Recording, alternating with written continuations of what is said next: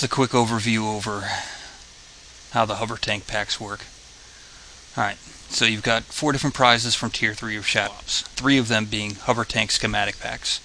If you click on each one, it'll give you a short little video about what it does, uh, what that schematic pack does. A little description, little video, blah blah blah. No big deal. A lot of confusion I'm seeing that people are having is when they go to the workshop and try to equip stuff for their hover tanks, they're wondering why they can't get some of the stuff to work.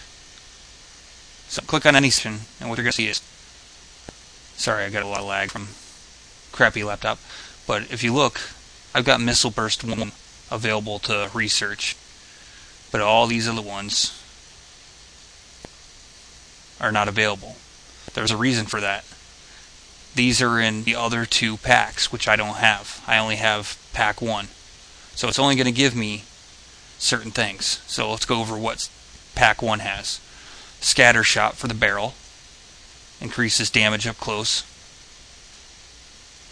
the targeting system, which gives an increase in fire rate, a decrease in reload time, and an increase in turret turn speed.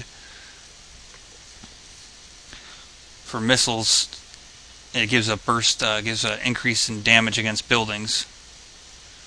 For engines, you've got the heavy transmission, which just gives acceleration.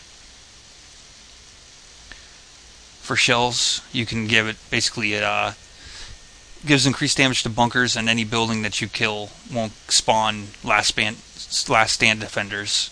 Uh, if you use the hover tank schematic, anyways. Uh, for foils, got a chance, basically turning into a suicide hover tank, which good, yeah, whatever. And the last one is armor, gives you uh, or reduced damage from aircraft uh, when aircraft attack. That's what's available for hover tank uh, schematic pack 1. Just like I said, just a quick overview. So if you see all this other stuff not available, the reason why is because you don't have all the hover tank schematic packs.